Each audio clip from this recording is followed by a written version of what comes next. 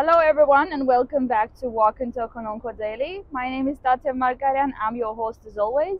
And today we have Dr. Kalam Kalemkerian as our guest. Dr. Kalam Kalemkerian, can you please introduce yourself?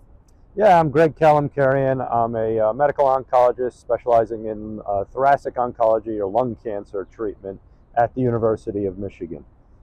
Okay, thank you. So, Dr. Kalemkerian, um, we're going to take a little walk, Sure thing. and I'm going to ask you a couple of personal, silly, funny, maybe deep questions. okay, So, let's get going? you bet. Okay, perfect. So let's get started. So you are a very busy person. I know that. What does your perfect day look like?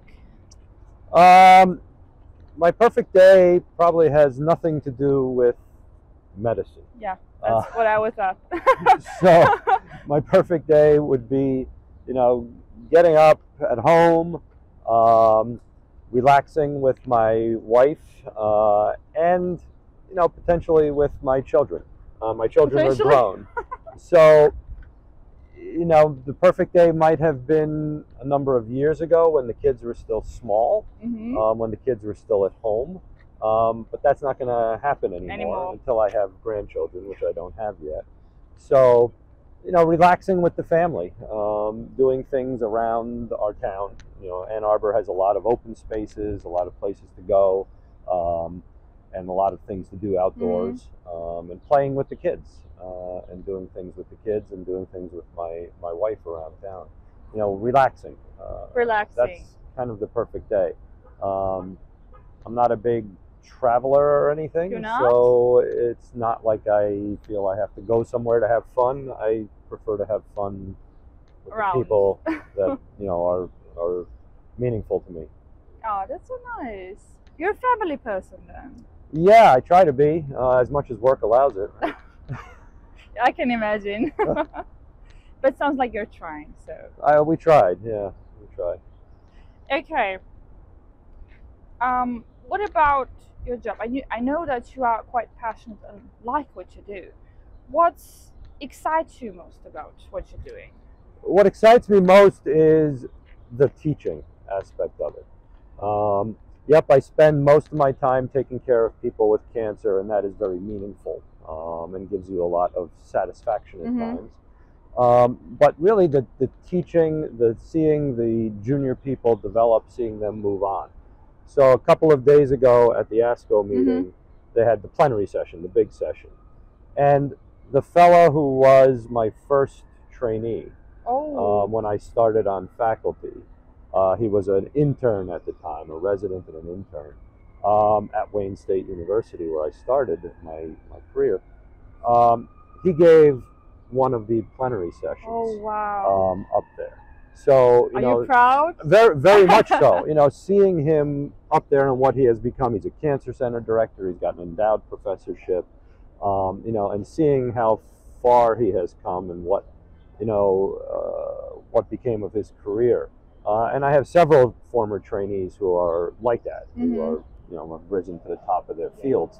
Uh, and that that's what's satisfying, because when you're teaching, you can amplify what you could do hmm uh, as a person and seeing them go beyond what you could do and what you have done it, it, it's just so so satisfying uh, to work with the young people to get their new ideas and hear their new ideas and develop things with them um, is really what keeps me going uh, at this point you know is is working with the younger people So also seeing the results. and seeing the results, seeing that it did pay off, right? Yeah. Uh, over time, um, and that however which way you can inspire them, even if you know they went well beyond what you could do, at least you got them on the right track and got them going. at least. uh, initially, right?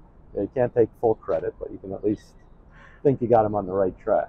I know a couple of people who are inspired by you. So, talking from their perspective, you are doing a wonderful job in assuring that the future of medicine, the future of humanity, you could say, is, I do believe, in good hands.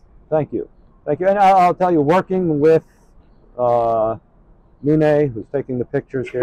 um, and, and others in Armenia for the last couple of years um, has been probably the most enjoyable thing I do with Really? my, my time right now. oh, that's so nice Um, to know. So it's just being able to give back I mean, I realize, you know, every day as a diaspora Armenian, Yes. you know, you realize how lucky we were to have my grandparents end up Mm-hmm. in the United here, States. Yeah. Um, and there, there's always a, a little bit of a pull and push because you realize that your luck was due to other people's very bad luck um, at that time when they But when they came life, over. right? That's life, Yeah. right? And that's the way it works. You have to come to some grips with that. Um, but being able to give back a little bit, um, you know, and help in any way possible, you know, asking uh, Gevorg and Nune, what what do you need? You know, what what can we do to help? Um, and and trying to pay it forward in, in that way. We are and- so and help out. thankful to you for that, for your thoughtful gestures towards us in Armenia. Well, it's, I think it's worth it. It gives me a lot of gives me a lot of pleasure. I hope you're getting something out of it. But Oh, we are. I, I enjoy it. just as much as we, I think. So, thank you for that. Okay, another question is, um, I, you said that you don't like to travel, but do you have a bucket list? Do you have anything on your bucket list that you haven't done yet, but really want to or about to?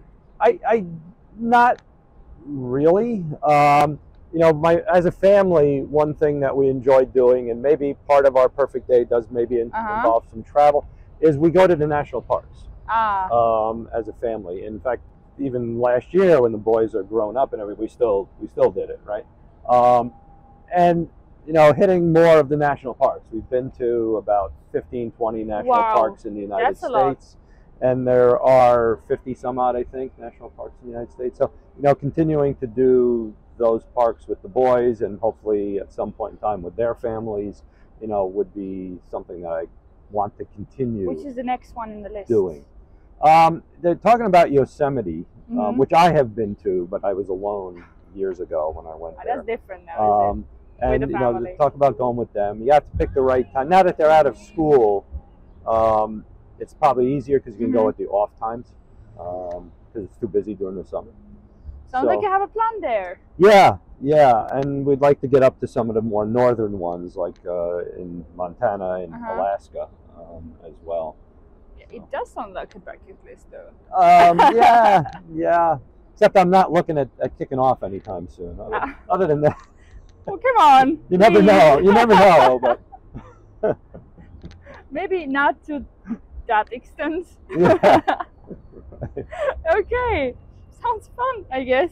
yeah, yeah. I mean, getting out there and you know hiking and doing things in the in the wilderness is, is fun. Would you ever change your profession? Would I change at this point? Or would Um, you like to? If, if you could, maybe. Would have you changed it at some point? Well, you know, the thing I've been looking for a little bit now, because I'm, I am nearing, you know, I got to look realistically. I am nearing the, the, the probably the latter part, the end of my career. Um, is trying to get into something where the teaching is the primary Ah, thing I do, okay. rather than being a secondary thing that I do.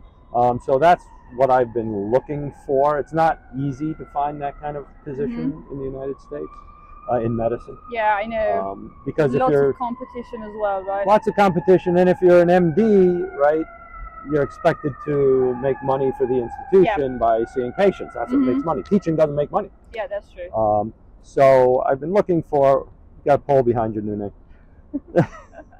um, i've been looking for you know things where i can do more focus on the teaching rather than being an ancillary thing and if i think about what i would have done if i hadn't gone into medicine Uh huh. you know, it probably would have been teaching, um, either whether it's high school or, or college type type teaching is probably what I Sounds would. like you really, really like done. it. Yeah, yeah. I mean, I, it's I enjoy seeing people learn new things and develop, and you know, teaching is the best way to learn as well. Oh, Um, really? Is it? Yeah. So teaching keeps you learning other things in order So to teach can it to other people, and you have to Ah, learn it really true. well in order to teach it. That's true. And in oncology and medicine in general, right, things are changing all the time. oh, yes, drastically and very fast. Right. And and talking to the younger people, the questions they ask, it always keeps you on your toes, keeps you learning new things and moving forward, um, which you have to in oncology because it changes so fast. Yeah, that's true. Okay, thank you so much, Dr. Kalemkerian, for accepting our invitation. Sure thing. For doing this with me. And thank you everyone for watching us. Stay tuned for further Walk and Talks on Onco Daily. It was Dr. Margaryan and Greg Kalemkerian for you today. See ya. Thank you. Don't forget to like, comment, share, and subscribe to Onco Daily on YouTube. Hit the bell icon to stay update.